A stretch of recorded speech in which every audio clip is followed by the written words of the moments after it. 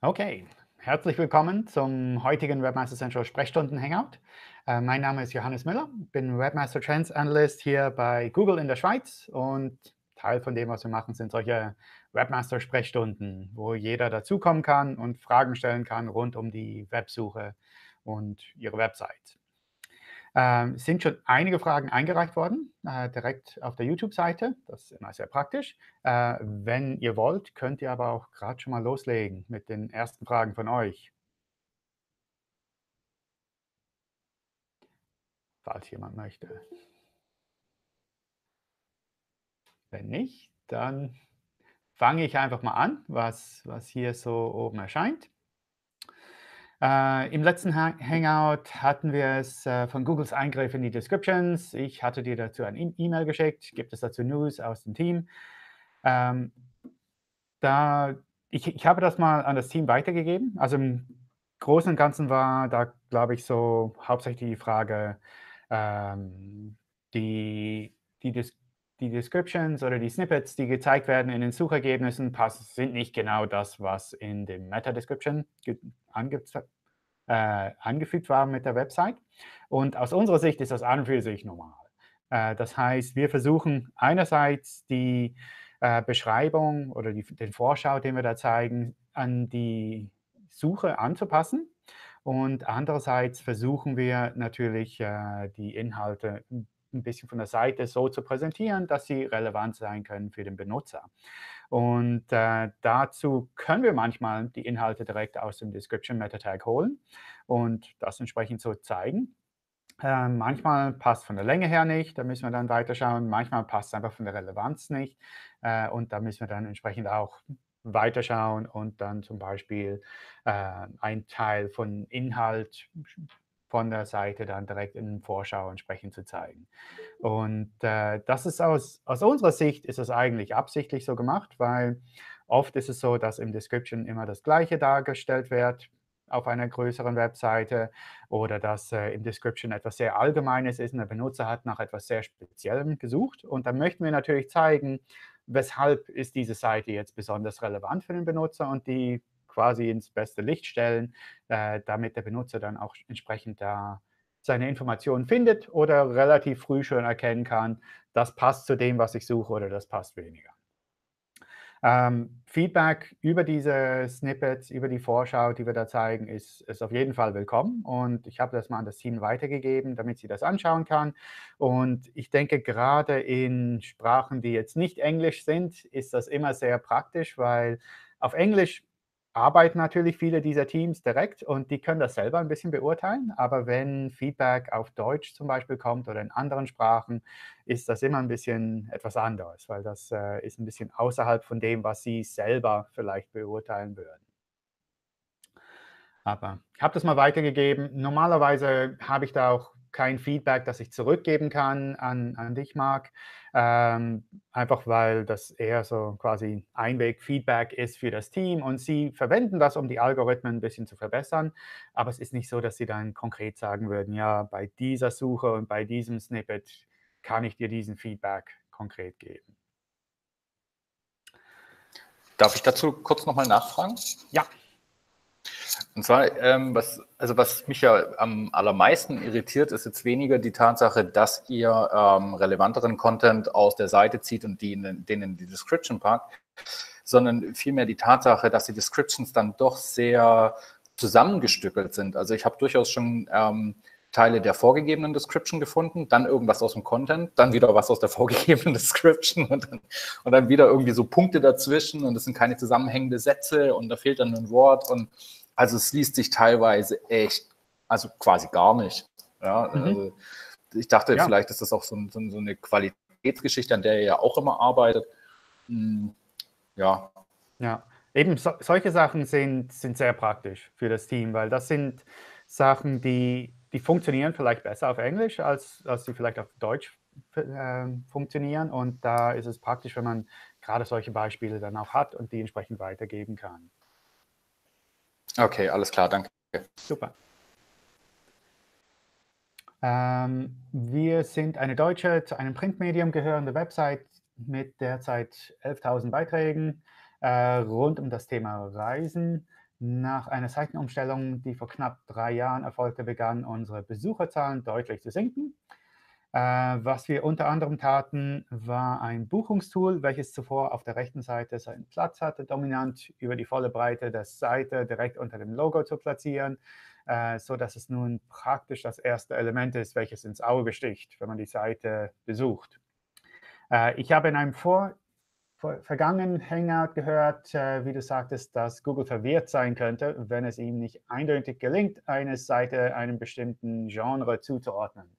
Kann es sein, dass Google bei uns nun unsicher ist, wie es äh, unsere Seite einordnen soll, da äh, über allem dieses dominante Tool hängt, welches die Seite viel mehr wie ein Buchungsportal aussehen lässt, anstatt der redaktionellen Seite, äh, die wir aber wirklich sind? Äh, das ist durchaus möglich. Ähm, ich denke, grundsätzlich, wenn, wenn eine Umstellung, sag ich mal, vor mehreren Jahren stattgefunden hat und seitdem die Besucherzahlen ein bisschen runtergegangen sind, dann ist es schwierig zu sagen, ob das wegen dieser Umstellung ist, weil das ist schon eine längere Zeit und seit dieser, seit den letzten paar Jahren oder insgesamt äh, ist es natürlich immer so, dass es relativ große Änderungen im Google-Algorithmus gibt, äh, sodass sich da die, die Suchergebnisse sowieso äh, verändern würden. Das heißt, ganz lässt sich das nicht vergleichen, wie heute der Zustand ist und wie das vor drei Jahren war. Da hat sich einfach sehr viel eh schon verändert. Aber im Grunde genommen, wenn man jetzt ein größeres Element oberhalb äh, einer Seite platziert, dann ist es für uns schon ein bisschen schwieriger zu erkennen, was jetzt das Hauptelement ist von dieser Seite. Und wenn das ein Buchungstool ist, welches einigermaßen dazu zusammenpasst, ist, ist das schon mal eine Sache. Wenn das aber dann so aussieht wie, sag ich mal, ein größerer Werbeblock, dann kann es schon sein, dass unsere Algorithmen denken, ja, die eigentlichen Informationen sind für den Besucher nicht im Vordergrund. Da, deshalb ist diese Seite vielleicht nicht so relevant für Besucher, die nach diesen Informationen suchen. Und äh, das sind Sachen, die lassen sich oft nicht auf gewisse, sag ich mal, technische Details zurückführen, dass man sagt, ja, so und so viel Pixel Maximum, sondern unsere Algorithmen versuchen das ein bisschen gesamthaft anzuschauen auf diesen Seiten.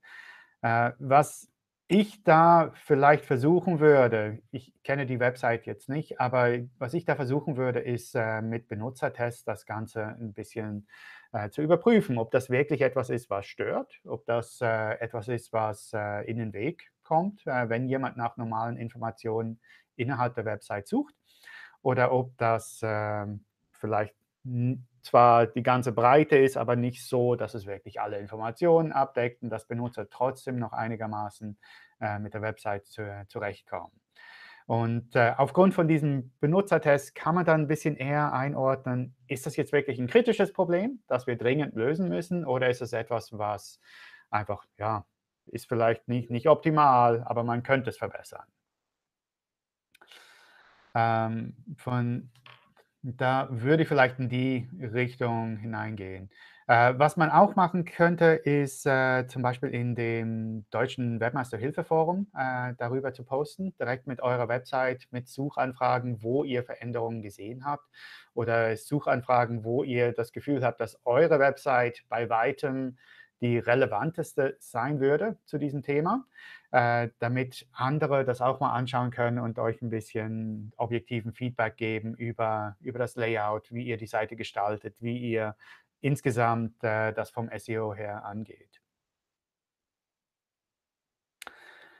Ähm, bei einem Online-Shop, den ich betreue, wird äh, in den Suchergebnissen an kurzen Titel die Domain an, äh, wird in den Suchergebnissen an kurzen Titel die Domain angehangen. Äh, Soweit, so gut.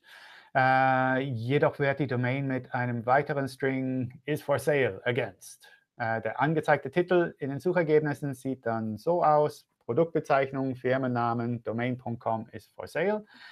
Ähm, ja, ich, ich müsste dazu wahrscheinlich die, die konkreten äh, URLs mal sehen und die Suchanfragen, damit ich das genauer anschauen kann. Äh, mit dem Screenshot, das du gezeigt hast, ist ja nur, glaube ich, ein Domain-Platzhalter dabei. Äh, das ist schwierig zu sagen. Normalerweise kommt so etwas äh, von, von den eigentlichen Inhalten der Websites.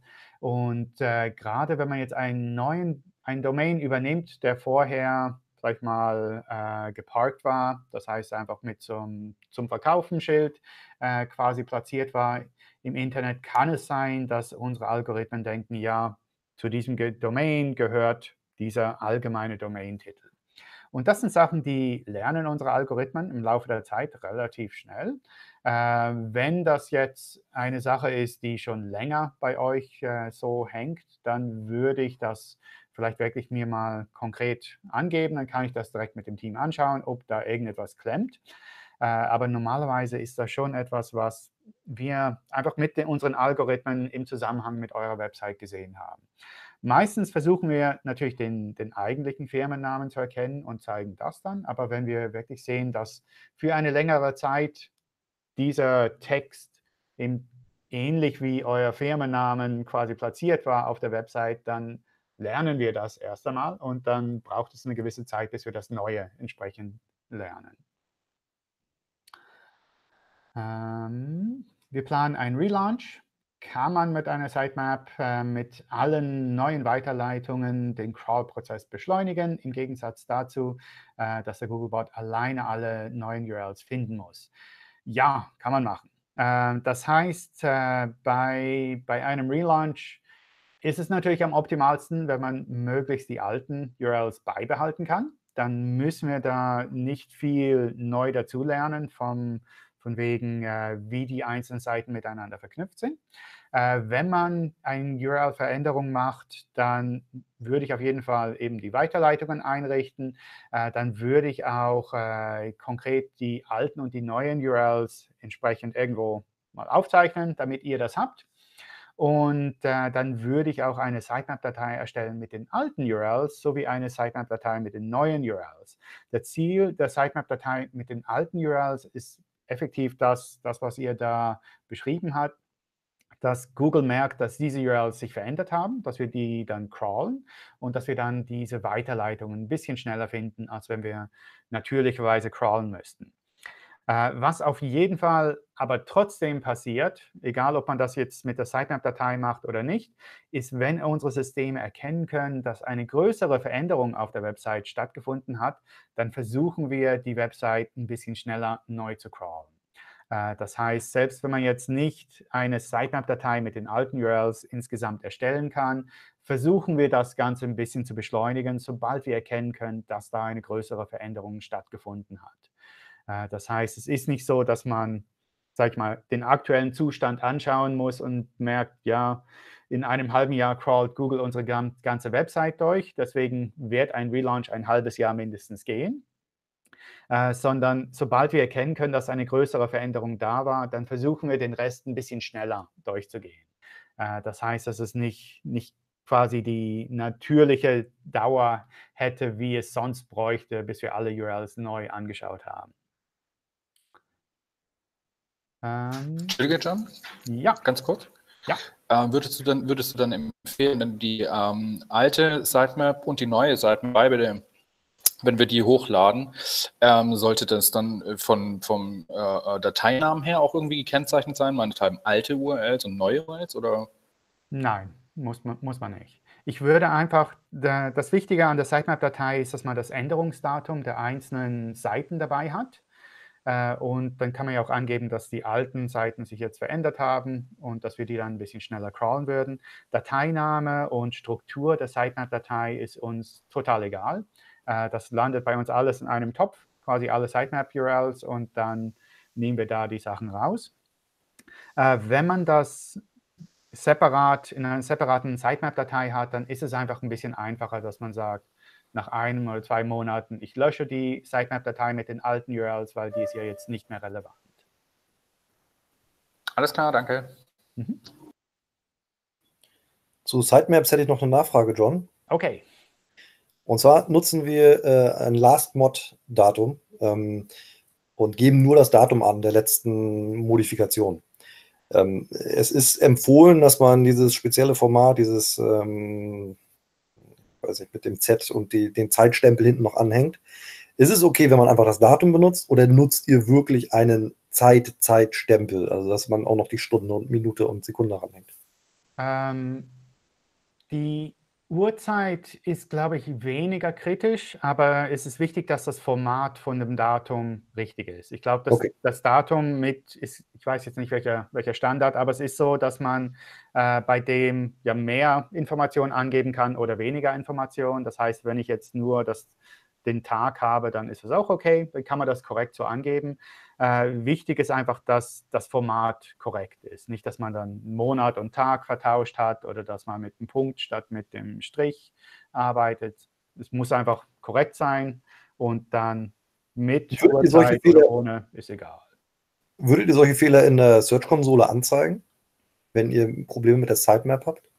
Ähm, weiß ich jetzt gar nicht. Äh, früher würden wir das anzeigen. Ich weiß nicht, ob das jetzt im neuen Search Console auch so ist.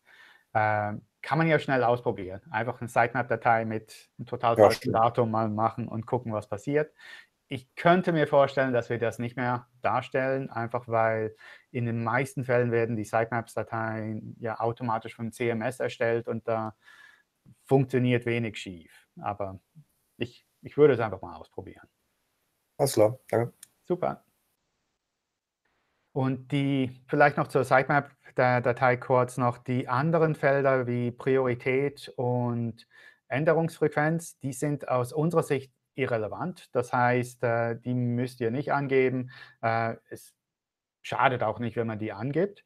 Äh, Einige CMSs füllen das automatisch aus, aber wir haben einfach festgestellt im Laufe der Zeit, dass das Änderungsdatum ist das, was für uns kritisch ist. Die Priorität und die Änderungsfrequenz sind ja Sachen, die sehen wir ja dann indirekt sowieso. Okay, dann ein paar Fragen zu Google News in Frankreich. Als äh, Schweizer Publisher, der in Frankreich auch Traffic generiert, äh, sollten wir uns als European Press Publication in Search Console eintragen. Ähm, gute Frage. Ich, ich weiß nicht, wie, wie das genau definiert ist. Äh, ich vermute, das ist auch gar nicht hundertprozentig definiert, wie man sich da quasi äh, markieren soll oder nicht. Äh, es sind ja auch dann manchmal die Fragen quasi, wir sind tätig in Europa oder wir haben Sitz in Europa oder unsere Entwickler sind in Europa oder unsere äh, Schriftsteller sind in Europa. Das sind ja alles Varianten, die unter Umständen dazu äh, hindeuten würden, dass man das, diese Einstellung nimmt oder halt auch nicht. Äh, deswegen haben wir uns beschlossen, dass wir diese Einstellung in Search Console äh, euch an und für sich freilassen. Das heißt, wenn ihr das Gefühl habt, dass ihr ein, ein europäischer Presse Publisher, ich weiß gar nicht, wie der deutsche Name ist, äh, dass ihr das, wenn ihr das Gefühl habt, dass eure Website da hineinpasst, dann könnt ihr diese Einstellung vornehmen und dann ist das an und für sich aus unserer Sicht okay. Wir übernehmen das so, wie ihr das einstellt. Äh, auch wenn ihr jetzt sagt, wir wollen nicht so eingestuft werden, dann könnt ihr das machen. Das ist an und für sich eure Entscheidung. Ähm, was, was dann passiert, ist eben das, äh, was, was da noch angesprochen wird, ist die, die Snippets, die Vorschautexte. Äh, wenn sie von einer solchen Website in Frankreich gezeigt werden, werden sie standardmäßig, glaube ich, nur der Titel und die URL dargestellt. Äh, es sei denn, man gibt explizit Informationen an, wie viel vom Text-Snippet oder vom Bild, von der Vorschau, vom Video-Preview gezeigt werden soll. Äh, das heißt, äh, wenn ihr wollt, dass ihr als europäischer Presse-Publisher angeschaut werdet und äh, explizit auf euren Seiten bekannt gibt, so und so viel Text darf dargestellt werden im Snippet, dann zeigen wir bis zu dieser Länge entsprechend an. Äh, die Meta-Tags kann jede Website verwenden und die gelten allgemein für die Suchergebnisse. Das heißt, äh, auch wenn ihr jetzt nicht so eingestuft seid, dann könnt ihr diese Meta-Tags verwenden und dann werden sie zum Beispiel auch in der Schweiz oder in Amerika entsprechend äh, so verwendet. Im Moment ist es wirklich effektiv nur so, dass die European Press Publications, wenn sie in Frankreich dargestellt werden, dann ist einfach der Standard äh, Vorgabe, so dass Titel und URL gezeigt wird und in anderen Orten werden da die normale Vorschautexte gezeigt, eben es sei denn, man gibt explizit weiteren Erlaubnis auch an. Und wie ihr das machen sollt, ist wirklich euch überlassen. Ich kann euch da nicht, nicht groß beraten und sagen, das ist meine Empfehlung oder so viele Buchstaben äh, würde ich da jetzt nehmen. Das ist effektiv euch überlassen. Ihr könnt da selber entscheiden, was bei euch die, die Grenzen sind, wie viel ihr dargestellt haben wollt oder nicht. Äh, wäre es besser, für das Ranking eine DE-Domain zu nutzen, anstatt unseren .com-de Unterverzeichnis? Äh, wir stecken wirklich viel Arbeit in unsere Tests, Fotos, Videos und Berichte, werden aber häufig von relativ einfachen Seiten verdrängt. Die Domain haben wir vor etwa zwei Jahren von einem Reseller gekauft. Äh, gibt es dort eventuell Altlasten? Ähm, vielen Dank. Im Grunde genommen ist es so, dass für Geotargeting, wenn man ein Unterverzeichnis, zum Beispiel .de, für Deutschland einstellt, dann wird das als deutsche Website angesehen, genauso wie ein Domain.de. Das heißt, wenn ihr gezielt Deutschland per Geotargeting ansteuern wollt, dann könnt ihr das auf beide Varianten machen. Äh, aus unserer Sicht ist das, ist das beides okay.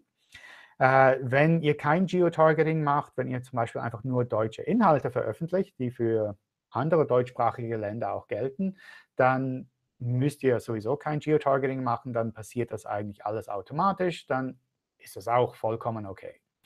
Äh, welche Variante besser ist, ein eigener Domain oder ein Unterverzeichnis oder ein Subdomain. Äh, wir versuchen das so zu machen, dass es an für sich eure Entscheidung ist und nicht etwas ist, was äh, wir da vorgeben würden, weil manchmal gibt es einfach Policy-Gründe, dass man sagt, ich möchte mit einem eigenen Domain arbeiten oder es gibt technische Gründe, dass man sagt, ich möchte mit einem Unterverzeichnis oder mit einem Subdomain arbeiten.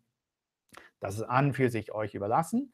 Äh, das Einzige, was man nicht machen kann, ist, äh, wenn man einen länderspezifischen Domain hat und dann ein anderes Land als Geotargeting einstellen möchte.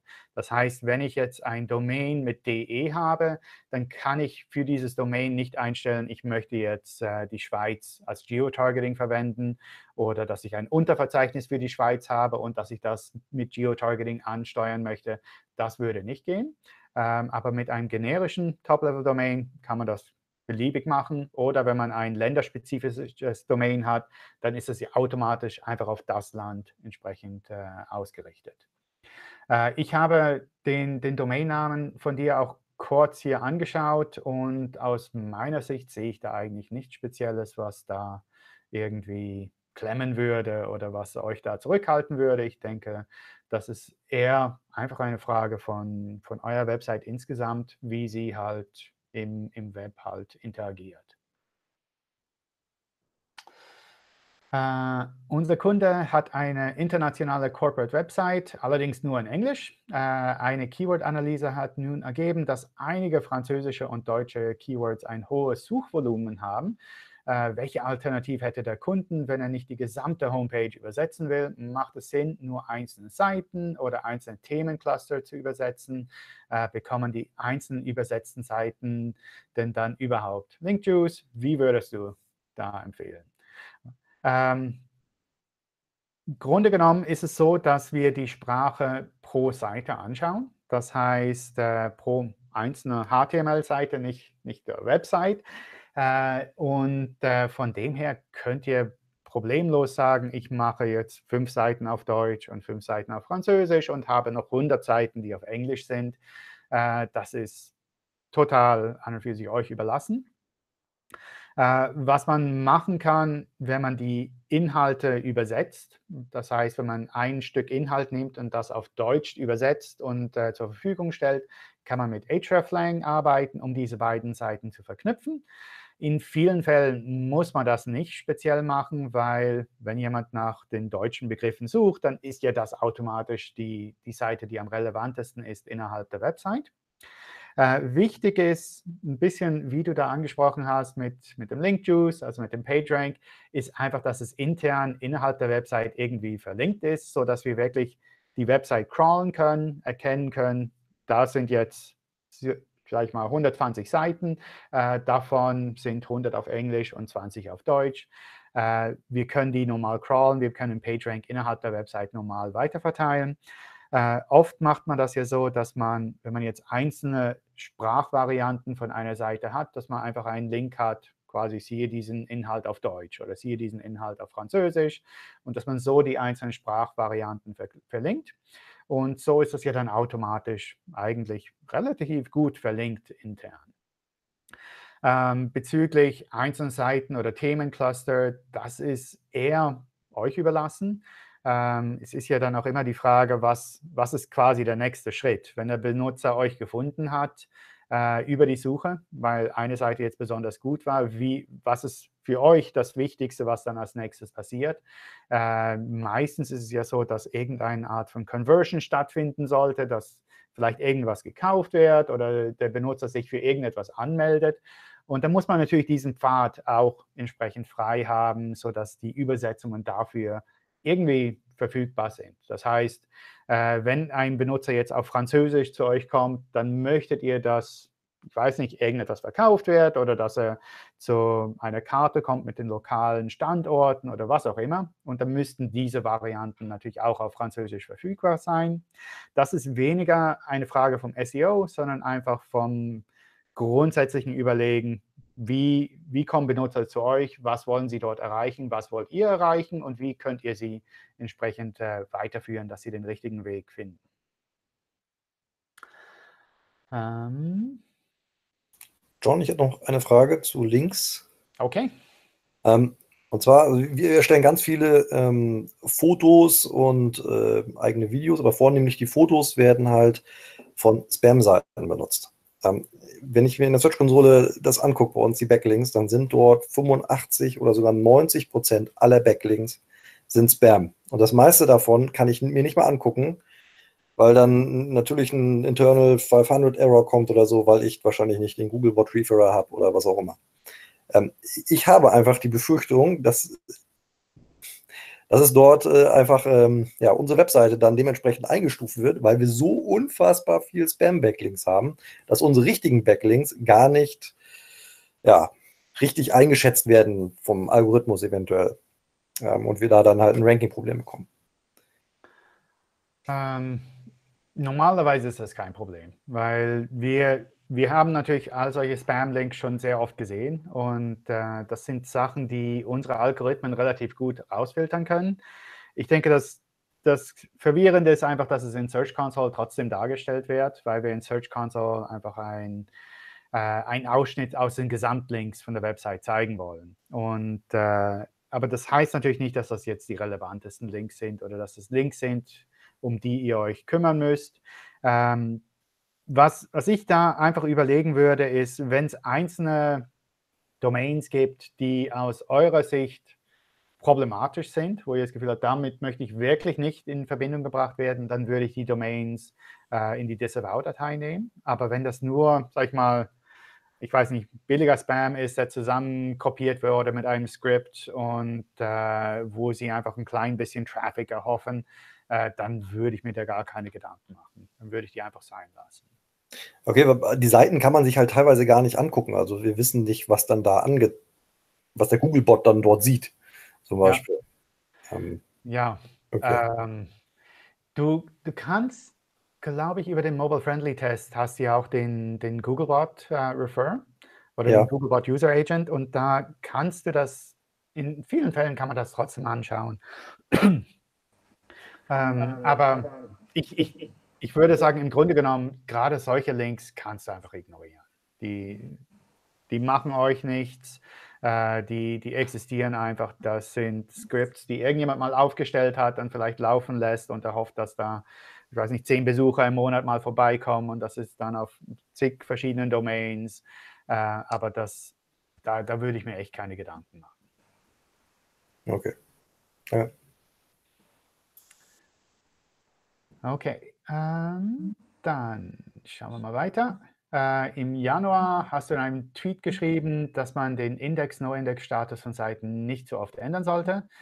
Ähm, wir haben auf unserer Website Kategorienseiten, wofür bis vor kurzem keine Produkte vorhanden waren, aber heute neue Produkte im Angebot sind. Äh, dies kann sich manchmal täglich ändern. wie würdest du in diesem Fall vorgehen? Die Seiten immer auf Index lassen, unabhängig äh, davon, ob Produkte vorhanden sind oder nicht. Äh, Seiten ohne Produkte auf No-Index stellen und sobald Produkte wieder vorhanden sind, sie wieder indexieren lassen.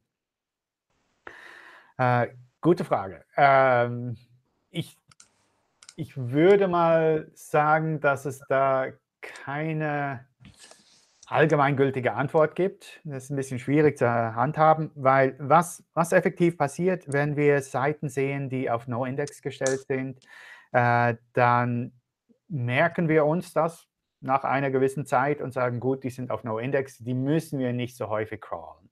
Und das ist dann einfach das, äh, wo, wo dann, denke ich, die, die Frage dann irgendwie hingeht. Das heißt, äh, wenn Sie längerfristig auf No-Index sind, dann crawlen wir sie weniger häufig, dann sehen wir diese Veränderung von Index, von No-Index auf Index weniger schnell. Äh, das heißt, wenn ihr einigermaßen sicher sein könnt, dass die Seiten nachher wieder indexiert werden, dann würde ich sie eher auf Index lassen. Wenn ihr sicher seid, dass die Seiten wirklich nie oder längerfristig jetzt nicht äh, neue Inhalte haben, dann ist No-Index an und für sich auch okay. Ähm, und äh, wenn ihr einfach nicht sicher seid, dann ja, muss ich das euch überlassen, ob ihr die auf Index stellt oder auf No-Index nehmt.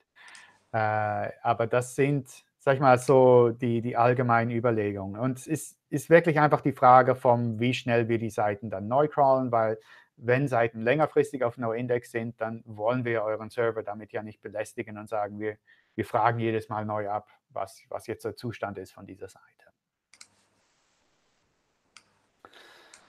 Ähm, wie steht es um die Markup-Element, äh, Site Navigation-Element und Image-Object? Lohnt es sich, diese auszuzeichnen oder sind sie irrelevant?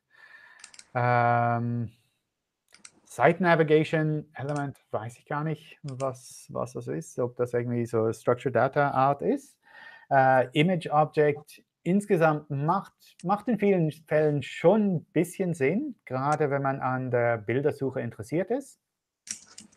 Äh, dann kann man natürlich ein bisschen mehr Informationen über die einzelnen Bilder entsprechend so angeben.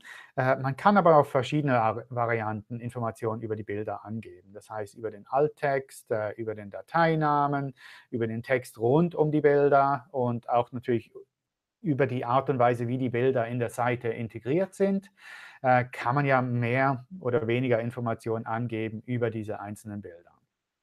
Äh, das heißt, wenn man an der Bildersuche interessiert ist, wenn man das Gefühl hat, dass äh, Benutzer über die Bildersuche zu euch kommen und dann entsprechend bei euch das machen, was, was ihr gerne haben möchtet oder dass sie da halt ein Conversion machen, äh, dann würde ich mir überlegen, welche Bilder da Sinn machen für euch und die dann entsprechend richtig äh, gemäß unseren äh, Tipps entsprechend auch zu markieren, äh, dass man da auch mit dem Structured Data die, die richtigen Informationen angibt, dass sie richtig sauber eingebunden werden in den Seiten, dass die sehr auch wirklich präsent sind auf den Seiten, wenn die aufgerufen werden. Einfach damit wir klar erkennen können, das ist ein Bild, das passt zu dieser Seite und das passt zu diesen Inhaltsblöcken. Und dann können wir das auch in der Bildersuche ein bisschen besser darstellen. Äh, ich habe eine Frage dazu. Ja. Ähm, und zwar gibt es in der Search-Konsole ja ähm, diese Bildersuche, ähm, wo man erkennen kann, wie viele Klicks über die Bildersuche kommen und über die Websuche. Jetzt haben wir auch Bilder in der Websuche. Also es gibt drei Bilder, manchmal in der Vorschau, auch in der Websuche. Ähm, wenn jetzt ein Bild von uns angezeigt wird und einer draufklickt auf das Bild, gilt das dann ähm, als Websuchenklick oder als Bildersuchenklick? Das gilt als Websuche-Klick. Das ist, okay.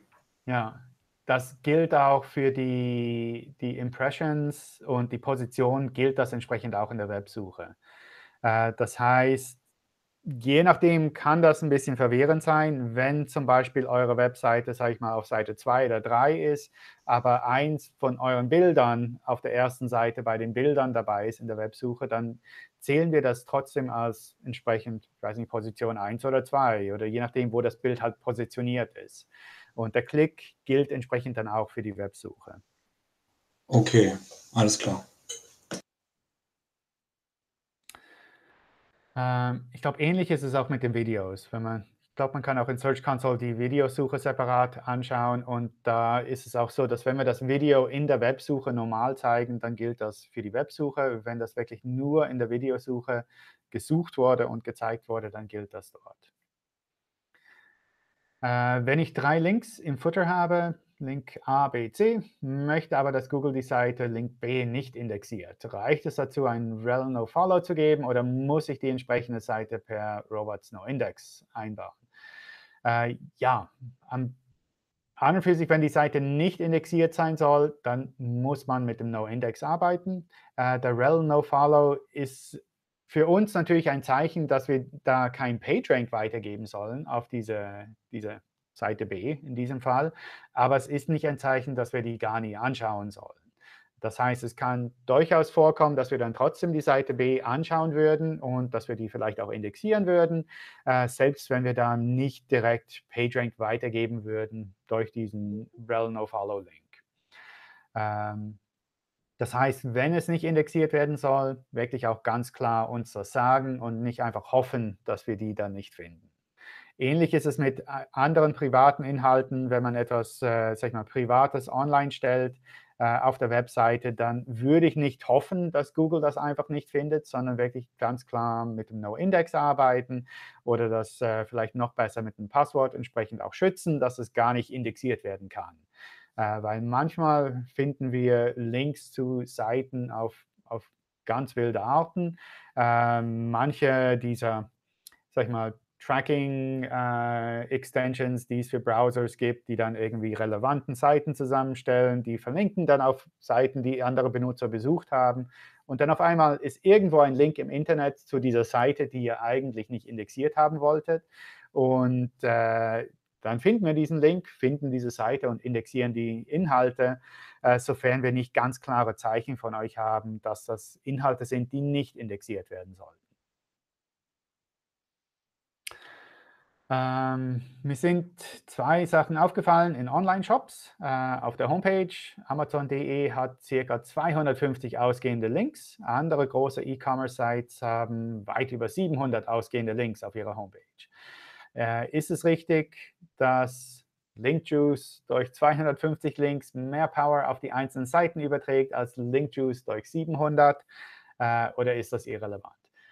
Äh, gut, ich sage mal PageRank statt LinkJuice, äh, aber grundsätzlich ist das schon so, dass äh, diese Signale werden natürlich weitergegeben an die verlinkten Seiten. Und äh, wenn das auf weniger Seiten verteilt werden muss, dann gibt es entsprechend ein bisschen mehr Signale auf diese weniger Seiten. Äh, ich denke, Amazon ist natürlich eine relativ große Website, von dem her ist es nicht so, dass sie dann gar keine Links auf die anderen Seiten haben, sondern diese Links sind wahrscheinlich einfach auf verschiedene andere Arten äh, da vorhanden und so können wir diese Seiten dann trotzdem noch indexieren. Äh, was, was ich einfach vielleicht allgemein empfehlen würde, ist äh, nicht gerade jetzt, wenn man jetzt als kleinere Website anfängt, nicht unbedingt äh, Amazon oder irgendeine große Website oder Google oder YouTube oder was auch immer als Vorbild nehmen und denken, die machen das schon richtig, ich kann ihr System kopieren und dann funktioniert es bei mir auch richtig. Äh, gerade bei größeren Firmen, bei größeren Websites gibt es oft Sachen, die, die sind einfach suboptimal und die wurden halt so mal implementiert, weil irgendjemand gedacht hat, das ist schon okay. Und es funktioniert vielleicht einigermaßen für Sie, vielleicht ist es aber nicht optimal. Und auf jeden Fall, gerade wenn ihr anfängt mit einer neueren Website, ihr seid ja noch nicht Amazon. Das kommt vielleicht noch, aber im Moment seid ihr das nicht. Das heißt, ihr habt einfach nicht äh, die, diese quasi Geschichte, die dahinter steckt und die ganzen anderen Einbindungen vom Internet her, die Links, all, all die anderen Signale, die jetzt eine größere Firma, die schon länger vorhanden ist auf dem Web, all die Sachen habt ihr natürlich noch nicht. Und von dem her ist es wichtig, dass ihr eine Strategie findet, die für euch funktioniert und nicht einfach eine nimmt, die für andere vielleicht funktioniert oder zumindest nicht katastrophal äh, ist. Ähm, und bezüglich der, der Anzahl Links auf einer Seite ist es schon so, dass wir den, den PageRank entsprechend auf diese Links verteilen und dass wir dann so entsprechend den Rest der Website crawlen. Aber es ist natürlich immer trotzdem eine Frage äh, davon, wie ihr das anschauen wollt. Es kann ja sein, dass ihr vielleicht 100 Sachen habt, die sehr wichtig sind und andere Sachen, die weniger wichtig sind. Dann könnt ihr das vielleicht so einteilen. Es kann aber auch genauso gut sein, dass ihr sagt, gut, wir haben 500 Sachen und die sind alle gleich wichtig und dann, dass ihr die alle direkt auf der Homepage so verlinkt. Das ist an und für sich euch überlassen, ob ihr da, sag ich mal, eher, sag ich mal, einen steilen Turm baut mit Links, die von oben nach unten geht oder ob ihr das eher breit gefächert macht, sodass die Seiten eher miteinander quer verlinkt sind. Das kann man auf verschiedene Arten machen. Äh, was ich einfach machen würde, ist äh, überlegen, wie ihr das längerfristig gestalten wollt. Äh, das heißt, nicht einfach ein System nehmen, was jetzt für euch einigermaßen funktioniert, sondern auch wirklich überlegen, wie würde das aussehen in ein oder zwei Jahren? Müssen wir da grundlegend unsere Website neu überdenken, wenn wir da weiter wachsen? Oder können wir weiter wachsen, ohne dass wir alles neu umstellen müssen. Äh, weil wenn ihr die Gesamt-Website-Struktur umstellen müsst, dann ist das ein größerer Eingriff in die Website und dann wird das äh, zumindest für sag mal, ein paar Monate auch größere Schwankungen in der Suche geben. Äh, das heißt, so weit wie möglich würde ich versuchen, dass ihr eine Struktur nehmt, die ihr längerfristig verwenden könnt, sodass ihr dann nicht auf einmal alles umstellen müsst, nur damit ihr jetzt diesen paar neuen Produkten auch irgendwie integrieren könnt. Ähm, dann der zweite Teil, Online-Shops tendieren dazu, die Anzahl ihrer indexierten Seiten aufzublasen, indem sie Seiten indexieren lassen, zum Beispiel mit Sneaker-Marke gleich Nike oder Sneaker-Marke gleich Adidas. Äh, somit kann durchaus der Suchintent genauer getroffen werden. Ähm, Nutzer suchen nach dieser Sneaker-Marke, äh, erhöht aber auch die, insgesamt die Anzahl an Seiten. Wie bewertest du dieses Vorgehen? Ähm, ja, ich denke, du hast da auch die, die beiden äh, Varianten schon mal angesprochen. Äh, einerseits macht es natürlich Sinn, dass man weniger Seiten hat, damit die einzelnen Seiten mehr Wert haben insgesamt innerhalb von eurer Website. Andererseits möchtet ihr vielleicht auch gewisse äh, Benutzer Bedürfnisse gezielter abdecken, sodass, wenn jemand gezielt nach dieser Marke sucht, dass da etwas Gezieltes bei euch auch vorhanden ist. Und diese Balance zu finden, die ist manchmal nicht sehr einfach. Äh, da muss man sich auch wirklich ein bisschen überlegen, wie man das am besten gestaltet. Und manchmal macht das sogar auch Sinn, dass man sagt, gut, für einzelne Produkte nehmen wir alles eher zusammen und für andere Produkte teilen wir das auch wirklich sauber auf, weil wir da erkennen können, dass jemand gezielt nach dieser Variante sucht. Äh, wenn Benutzer zu euch kommen und zum Beispiel Sneaker in eurem, eurem Ort oder in eurem Land entsprechend, gesuchen, entsprechend suchen und auf eure Website kommen, dann ist vielleicht die Marke dieser Sneaker irrelevant. Wenn jemand zu euch kommt und sagt, ich möchte jetzt goldene Adidas Turnschuhe für, ich weiß nicht, eine spezielle Sportart, äh, wenn da genug Leute so direkt suchen, dann macht es vielleicht auch Sinn, dass man sagt, gut, für diese ganz spezielle Variante möchte ich eine eigene Landingpage haben, weil das wirklich etwas äh, Eindeutiges ist, wonach gesucht wird. Und da haben wir vielleicht auch Erfahrung oder da haben wir die speziellen Produkte, die sonst niemand hat. Und äh, diese Balance zwischen sehr speziell und sehr eher allgemein, das ist manchmal ein bisschen schwierig zu finden. Und ich denke, jeder, der schon länger einen Online-Shop hat, der hat da die, die Erfahrungen auch gemacht, dass man da vielleicht eher in die Richtung ein bisschen stark geht und dann wieder ein bisschen in die andere Richtung. Und irgendwo muss man da seine Balance finden. Und ich vermute, das verändert sich auch im Laufe der Zeit, wenn man dann wirklich merkt, ah, das ist etwas Spezielles, das möchte ich jetzt äh, speziell hervorheben und die anderen Sachen möchte ich eher ein bisschen wieder zusammenpacken und das kann sich ja verändern. Ähm, wir haben im URL Removal Tool in Search Console gerade zehn URLs entdeckt, die als Removed und Outdated Cache Removal klassifiziert werden. Äh, wir sind uns keiner manuellen Aktion in der UI des Tools bewusst. Gibt es da von euch eine andere Erklärung, warum die URLs in den Listing im Removal Tool auftauchen? Äh, zeigt ihr da eventuell Ergebnisse von internen Aktionen ein? Oder sind die URLs zwangsläufig durch das Removal Tool auf die Liste genommen? Äh, die kommen, die, die Sachen, die da aufgelistet werden, sind effektiv äh, URLs, die über das URL Removal Tool eingereicht worden sind. Äh, allerdings gibt es da zwei Varianten, wie man da hinkommen kann.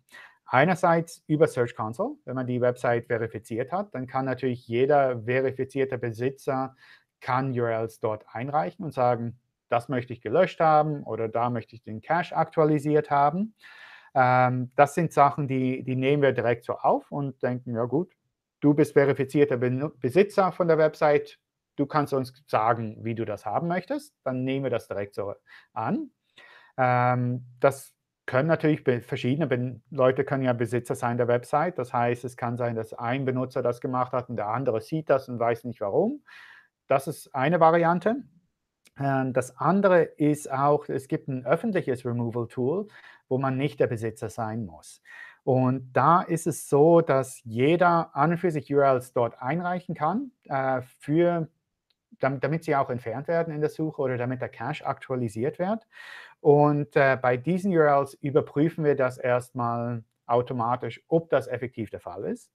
Äh, das heißt, wenn jemand sagt, diese URL soll entfernt werden, dann warten wir erstmal eine Weile und kontrollieren dann ein paar Mal diese URL, ob sie effektiv auch entfernt wurde von der Website, ob sie per Robots Text blockiert ist, ob sie No-Index hat, ob sie 404 zurückgibt, all diese Standardsachen.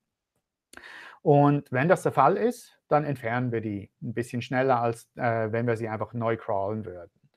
Äh, und das wäre bei euch dann auch sichtbar in, im Removal Tool. Ähnlich ist es mit äh, dem Cache Update.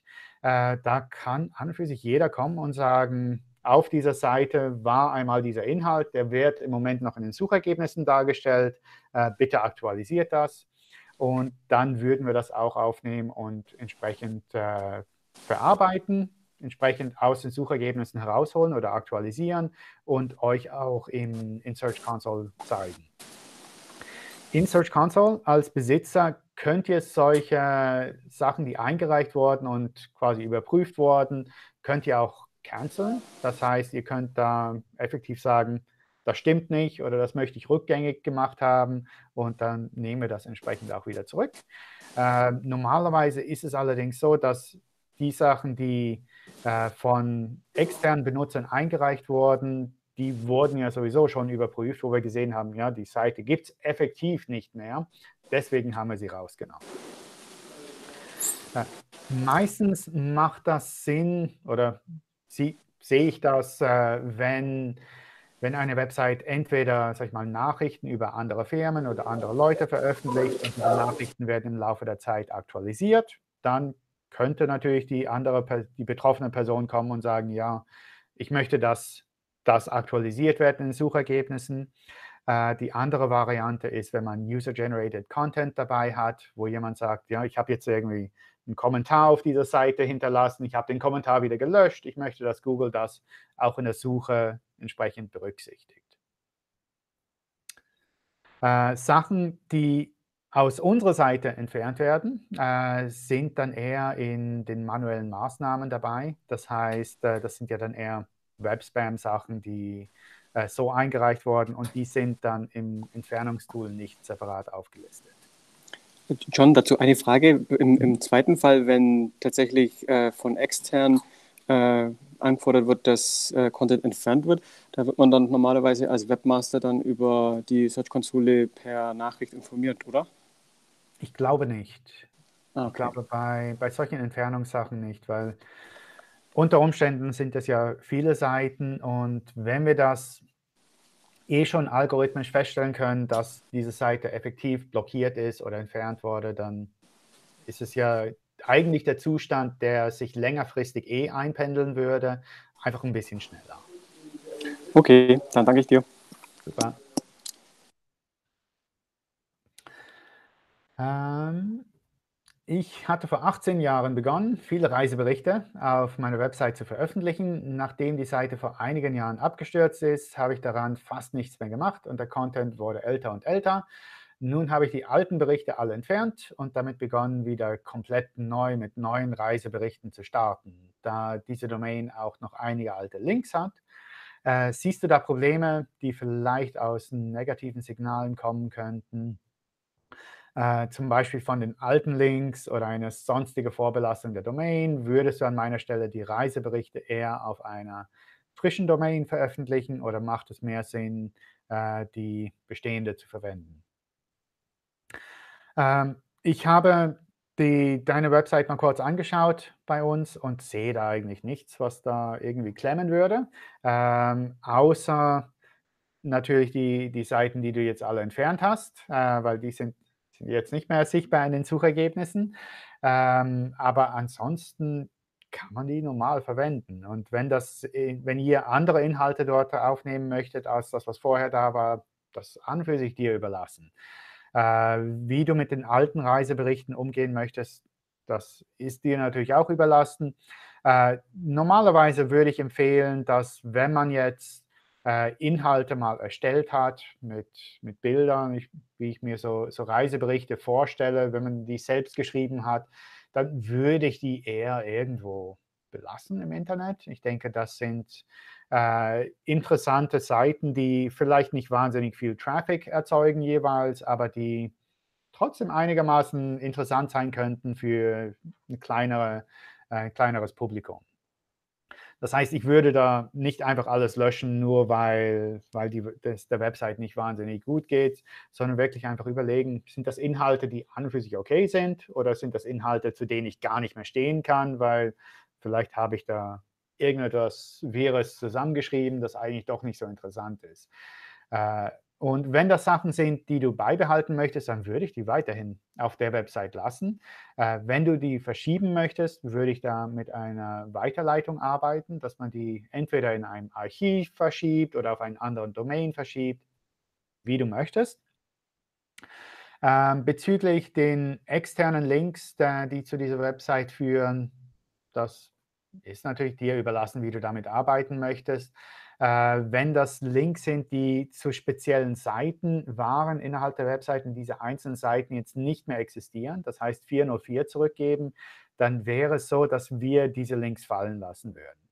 Äh, das heißt, das würde ich vielleicht mal anschauen, überlegen, welche Seiten macht es Sinn, dass ich die beibehalte, weil da haben vielleicht sehr viele Leute schon irgendwie hingewiesen und gesagt, das sind eigentlich gute Inhalte dort und dass man die Seiten dann eher vielleicht beibehält. Oder wenn du sagst, ich möchte wirklich jetzt frisch anfangen mit diesem Domain, dann muss man sich damit eigentlich nicht groß äh, auseinandersetzen.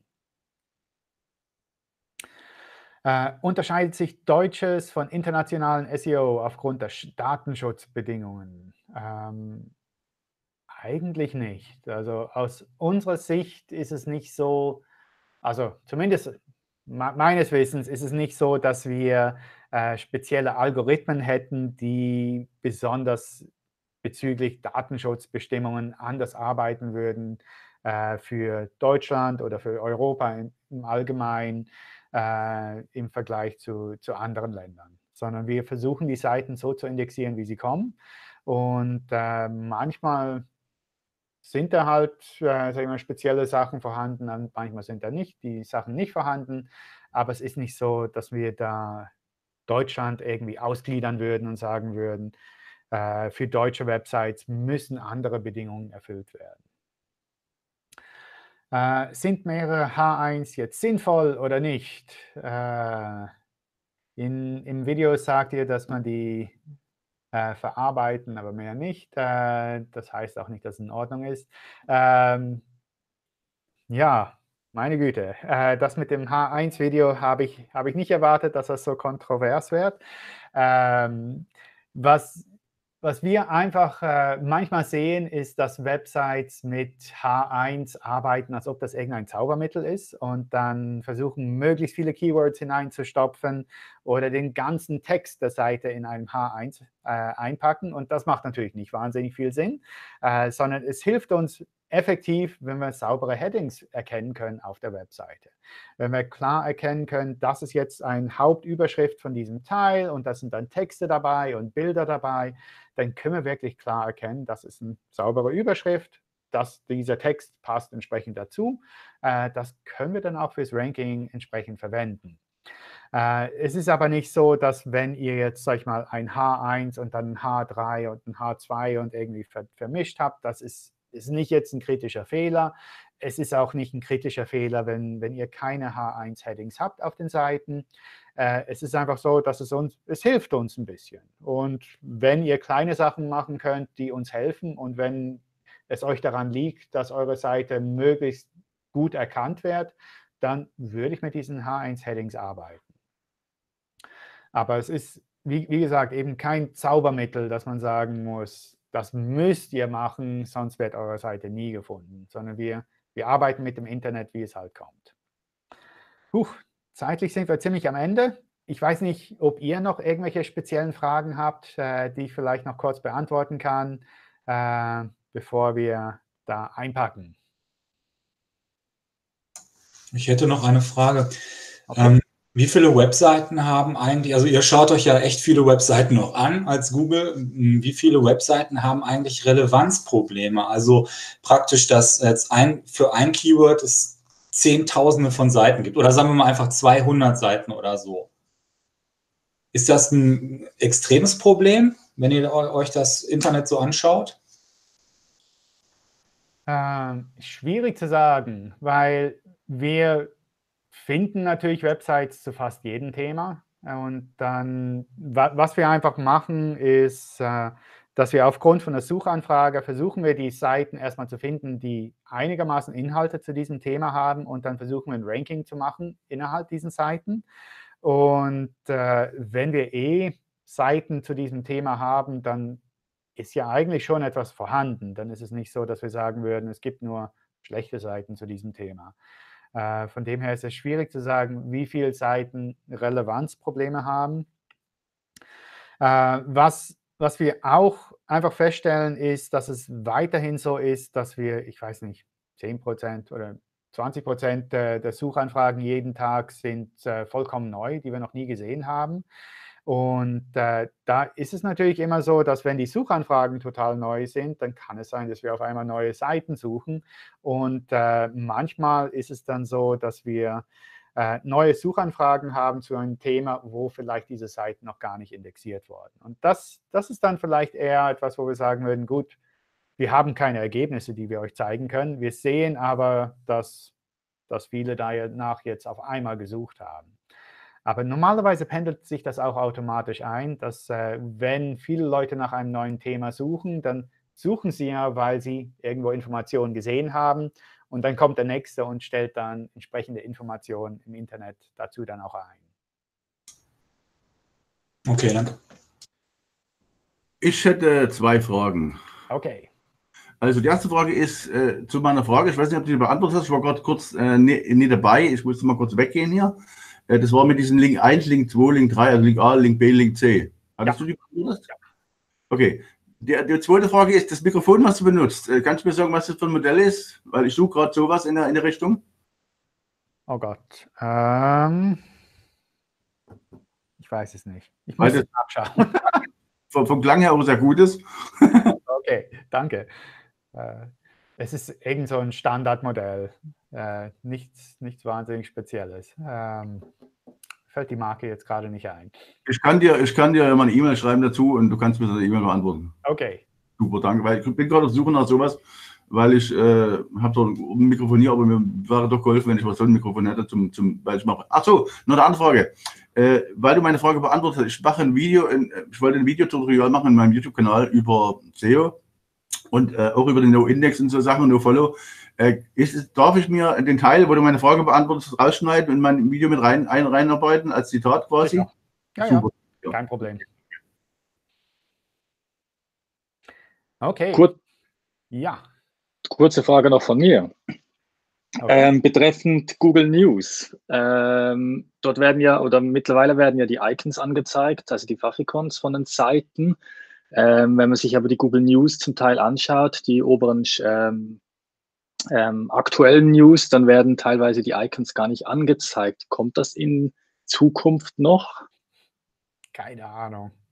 Da weiß ich nicht. Also einerseits weiß ich von Google News nicht wahnsinnig viel. Äh, andererseits ist es meistens so, dass wir solche Sachen einfach testen und wenn wir sehen, dass sie funktionieren, dann machen wir das. Äh, und da ist es schwierig im Voraus zu sagen, wir werden das irgendwann in Zukunft machen, wenn wir das noch gar nicht ausgetestet haben. Okay. Okay, dann machen wir hier. Okay. Ja, Der Chrome-Browser unterstützt ja mittlerweile die Klasse LazyLoad für Bilder und auch für iFrames. Mhm. Versteht der Google-Bot das auch schon? Ja, Äh, ja. Oh Okay. Gott, wer ist das? Äh, ja, ähm, für, für Bilder ist jetzt sowieso kein Problem, weil wenn wir das nicht verstehen würden, sehen wir ja trotzdem diesen Image-Tag, ist ja trotzdem dabei.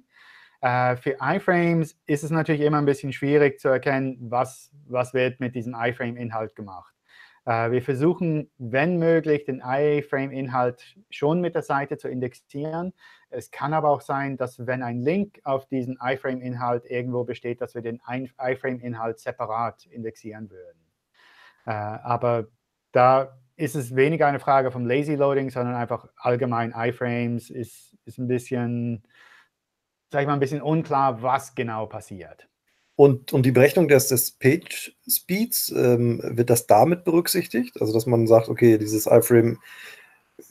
Meine Frage bezieht sich vor allen Dingen auf YouTube, weil wenn man äh, YouTube-Videos einbettet, äh, das dauert halt immer mindestens anderthalb Sekunden.